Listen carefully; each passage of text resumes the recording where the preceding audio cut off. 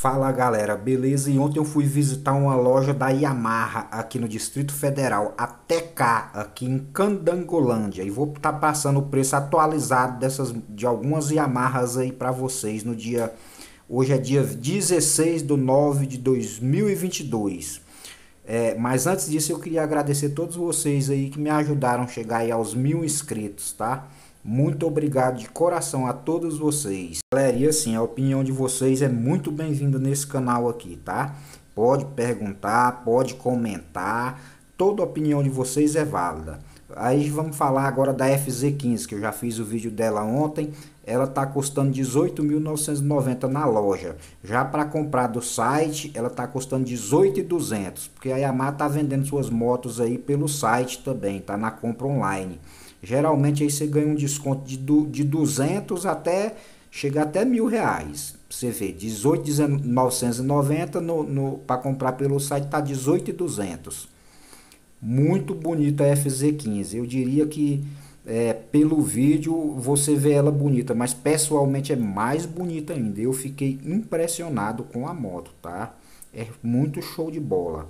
Tá aí a Crosser, né, que é o mesmo motor dela, Aí você fica na dúvida, comprar uma, uma Crosser 2023 ou uma FZ15 2023. Eu diria que para quem gosta de viajar, a Crosser é melhor. Até porque moto alta tem um pouquinho mais de conforto do que a moto baixa, né? Então a Cross fica melhor para viajar. E quem tem uma estatura maior também, a posição de pilotagem numa moto alta fica melhor. A, a Cross está sendo vendida aí por R$19,990 na loja, tá? Eu não verifiquei no, no, no, site, mas vai cair aí uns 400 a 500 reais aí, ou até a 600 reais. É, tá tendo essa diferença aí para comprar aqui em Brasília aí, que eu verifiquei. Uma diferença de uns 600 reais, igual aconteceu aí na FZ15. Aí nós já tem, temos a MT-07, né? Para quem gosta de alta velocidade aí, uma Naked. É muito bonita a MT-07.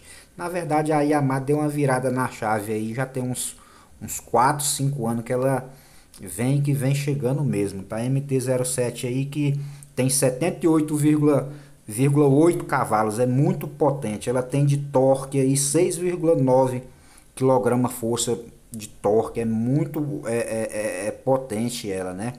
Ela foi premiada aí mundialmente essa moto aí, a, a MT-07, tá em três cores aí, azul, aí tem um lilás aí meio clarinho e tem ela na cor preta também, né?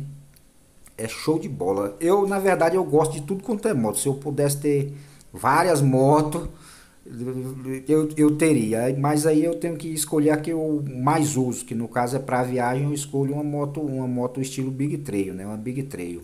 Mas se eu pudesse, com certeza eu teria uma Naked também, porque de vez em quando você gosta de dar uma esticadazinha.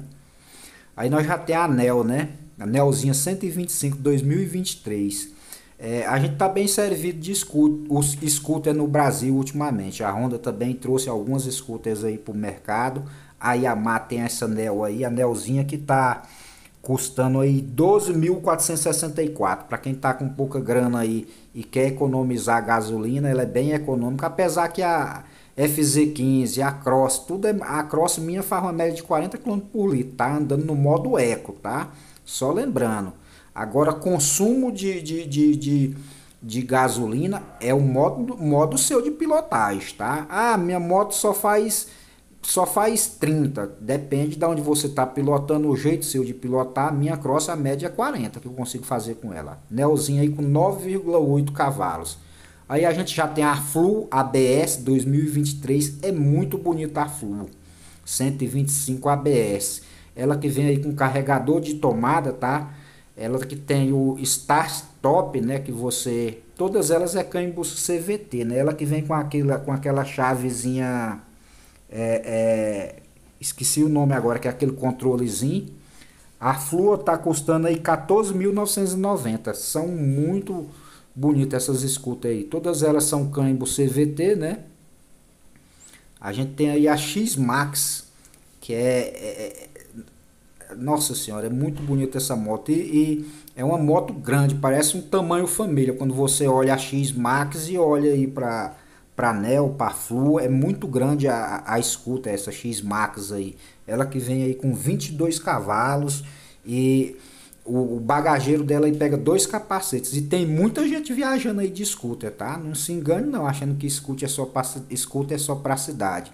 Tem muita gente aí viajando de scooter, tanto a, a, a, a, a X-Max, a, a, a, a, qual que é a outra, meu Deus, me faltou a memória aqui, a N-Max, todas elas aí tem muita gente viajando de scooter. Muito bonita essa daí. Aí, aí a gente já tá com a FZ25, né? A irmã mais velha aí da FZ15 aí, que é muito bonita. Ela tem aí 21 cavalos de potência. É, é igual eu falei, é, o que falta para a Yamaha um pouquinho ela jogar mais dois cavalos de potência né? na FZ25, na FZ15, porque na hora que você fala aí o pessoal eu, eu não sou apaixonado fanboy de nenhuma marca, mas na hora que você fala, aí como a Honda tem dois cavalos a mais nessas categorias, a galera já fala isso aí. Mas apesar que de final a Yamaha dá mais, tá galera? E aí agora a gente chegou na Lander, né? Que eu sou apaixonado nessa moto ainda, mais essa cor aí da K, né? Areia da K, eu acho muito bonita essa cor da, da, da Lander. Ela aí que a gente está numa expectativa aí de mudança dela para o ano de 2023 e expectativa de lançamento dela. Se não acontecer nesse mês, mas no próximo é quase uma certeza, tá? O pessoal pesquisa bem aí, que tem um contato aí com, com a galera que comenta, que, que vê em outros canais aí. A expectativa já era para ela ter sido lançada e a expectativa é que aconteça uma mudança grande nela aí, tá? Mas ontem eu vi descer algumas motos do caminhão lá e descer umas três ou quatro Lander aí. Eu não sei se estão se tem informação aí que eles estão só aguardando vender mais Lander, tá? Porque eles, se eles trazer agora assim, essa daí cai o preço bastante. Vai ter que cair, né? É, eu lembro antigamente é, o, as, as concessionárias lançavam as motos de outubro a novembro ou a dezembro, né? Aí eles anteciparam, né? Quem antecipou mais foi a Yamaha. A Yamaha, eu tenho um vídeo aí explicando, ela até deixou meio ruim para quem comprou a Crosser 2022, que foi 6, 7 meses depois, ela já lançou a 2023 completamente diferente.